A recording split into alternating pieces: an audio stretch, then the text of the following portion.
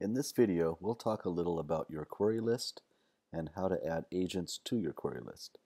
Your query list is a place where you put the agents who you think you might want to query later. You place them in this list so you can go back and refer to it whenever you need to. Once an agent is in your query list, you can then track the queries to that agent, recording things like the sent date of the query, how it was sent, what the reply was, among other things. So first off, how do you get an agent into your query list? That's actually pretty easy. There are two ways to add an agent to your query list. The first is done from the search page here. For each agent listed, there's a checkbox to the left of their names.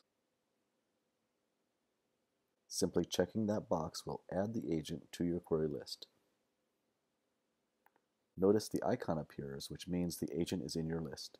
Later, that icon will change to represent the status of the query, and we'll cover that in a later video. The other way to add an agent to your query list is to go to the agent's profile page. To do that, click the agent's name. The agent's profile page shows the details about this agent.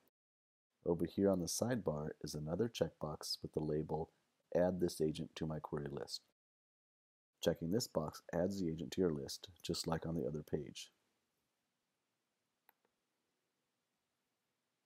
And just like before, an icon shows up indicating the agent is in your query list. If you need to remove an agent from your query list, just uncheck the box. And after you confirm the removal, the agent is removed from your list.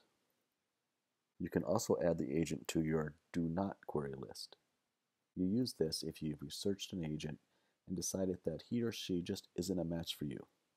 You add them to your do not query list to help you remember you've already ruled this agent out.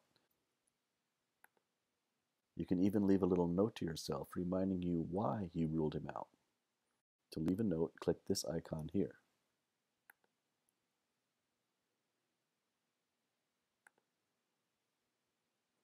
Now, if you happen to be on a tablet or smartphone, this sidebar may not be shown.